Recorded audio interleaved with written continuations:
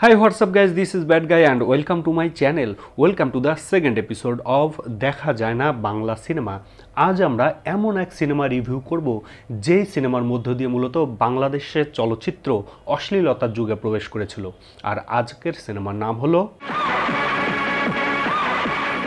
তাহলে চলুন শুরু করা যাক সিনেমা শুরুতেই দেখা যায় জমিদার বাড়ির একমাত্র উত্তরাধিকারী মদখোর মেয়েবাজ দুশ্চরিত্র সোহেল চৌধুরী তার বাপদাদার ছবির সাথে কথা বলে এবং প্রতিজ্ঞা করে তার বাপদাদার অশ্লীলতা মেয়েবাজির ধারাবাহিকতা সে রক্ষা করবে। চৌধুরী বংশের অশ্লীল ঐতিহ্য রক্ষা করতে হবে।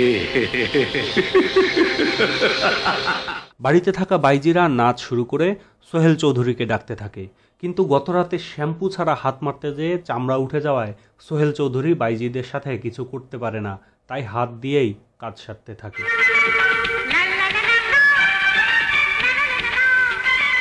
এদিকে বাড়ির বাইজিগুলো সদরঘাট হয়ে যাওয়ায় সোহেল চৌধুরী তার দুই চামচাকে নিয়ে কোচি মেয়ের ফেসবুক আইডি খুঁজে পেতে গ্রামে বের হয়। গ্রামের মেয়ে আশার কুরকুরানি বেশি হওয়ায় নিজের সব দেখিয়ে গ্রামে নাচ গান করতে থাকে। এই ঘটনা দেখে ফেলে সোহেল চৌধুরী।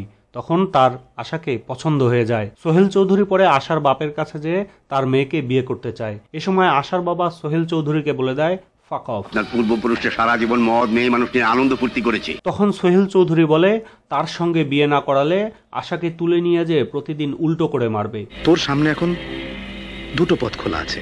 ভয়ে জমিদারের সঙ্গে বিয়ে দিতে রাজি হয় আশার বাবা।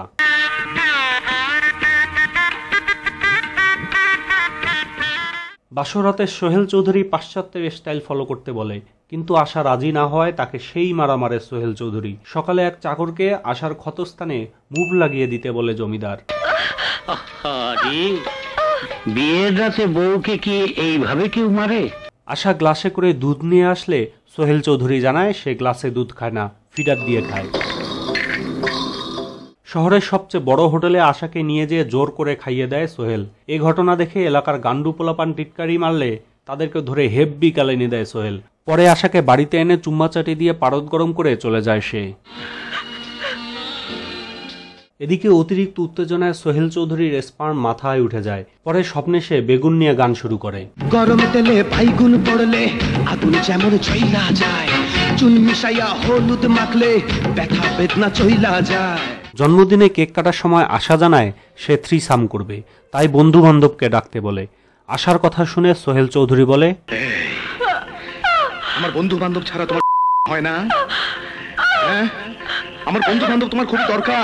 রাগে সোহেল চৌধুরী আশাকে মেরে মেঝেতে ফেলে দিয়েই দর্শক আমরা আর বাকিটা দেখালাম না বুঝে নিয়েন। পত্রিকা পড়ে সোহেল চৌধুরী জানতে পারে কন্ডোম রিপন অ্যারেস্ট হয়েছে। তাই সে আশাকে বলে এরপর থেকে সাধারণ বেলুন দিয়েই কাজ সারতে হবে। বেলুন? এই এই বেলুনগুলো এদিকে এলাকার গান্ডু বাহিনীর হামলায় সোহেল চৌধুরী গাড়ি থেকে ছিটকে পড়ে যায় এবং তার বউ মানে আশা গাড়িতে পুড়ে মারা যায়।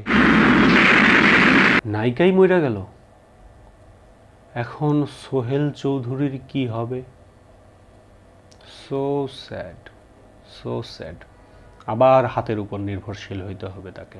আগে থেকে কোনো লিঙ্ক না থাকলেও হঠাৎ করে সিনেমায় প্রবেশ করে মহানায়ক তাও মারামারির মধ্য দিয়ে। এখানকার অ্যাকশন তামিল সিনেমাকেও হার মানাবে। পরে গুন্ডারা পালিয়ে তাদের বস আই মিন ভিলেনের কাছে চলে যায়।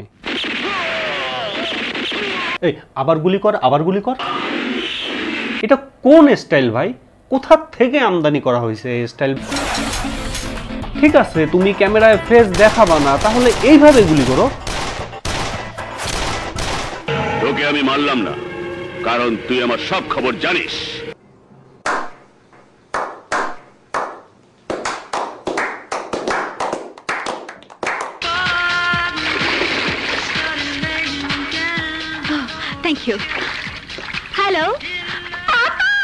এইটা আবার কেডা? নায়িকা না মারা গেল? পুলিশের সাহায্য চেয়ে ঝামেলা যেও না পাপা। আমি দেশে এসে সব সমস্যা মিটিয়ে ফেলব ওকে? তুমি দেশে আইসা সব ঠিক করে দিবা না? আসো দেশে আসো। সোহেল চৌধুরী মেশিন ধার দিতেছে।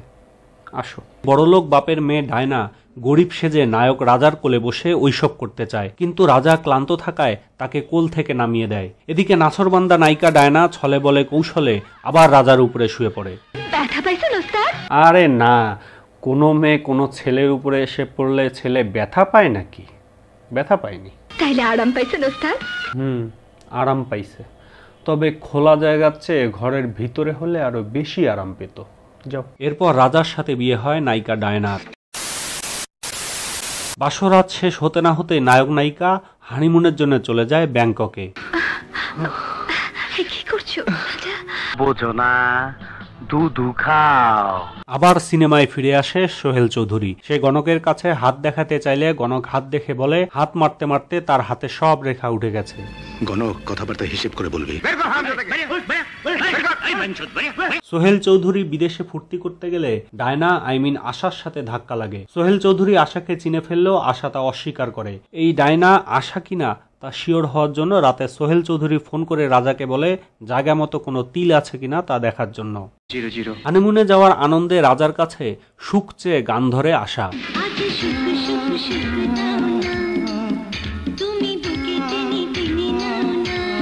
এদিকে সোহেল চৌধুরী ডায়নাকে নিজের বউ আশা প্রমাণ করতে প্রমাণ খুঁজতে থাকে। ডায়নাই যে আশা তা প্রমাণ করতে বিভিন্ন জায়গায় ঘুরে বেড়ায় সোহেল চৌধুরী। পরে তার মনে হয় আশা না থাকায় সে হাত ব্যবহার করে যে হাতের রেখা মুছে ফেলেছে সেটাই তার কাছে বড় প্রমাণ। প্রমাণ আপনি কোথায় পাবেন হুজুর? প্রমাণ আমার হাতেই আছে। কিন্তু তারপরও সোহেল চৌধুরী ডায়নাকে নিজের বউ প্রমাণে ব্যর্থ হয়।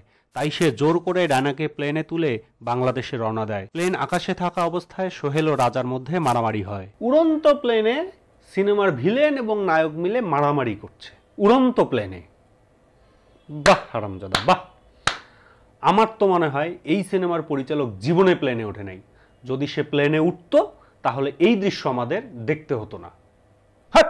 প্লেন বাংলাদেশে ল্যান্ড করার সাথে সাথে পুলিশ চলে আসে সোহেল চৌধুরীকে গ্রেপ্তার করতে। এ সময় ডায়না স্বীকার করে বলে যে, সোহেল চৌধুরীর সঙ্গেই তার বিয়ে হয়েছিল। তবে সোহেলের চেয়ে রাজার শিষ্ণ বড় হওয়ায় সোহেল চৌধুরীকে ফাকফ বলে আসা। আর সোনা ছোট হওয়ার অপমান নিয়ে আত্মহত্যা করে সোহেল চৌধুরী। এই ভিডিওটি ভালো লাগলে লাইক করুন কমেন্ট করুন এবং শেয়ার করুন।